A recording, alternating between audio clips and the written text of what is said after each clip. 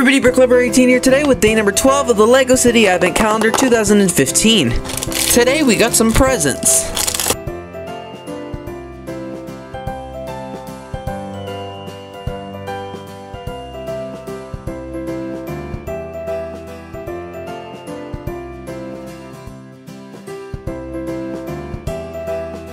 So here are the presents, there's honestly not much to them. As you can see, this present here is an orange and green color combination, and that works very nicely together.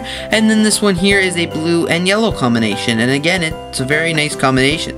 This one is 2 by 2 and this one is 2 by 3 It's like seriously hard to believe that we're already 12 days through this advent calendar, because that means there's only 12 days of the advent calendar left.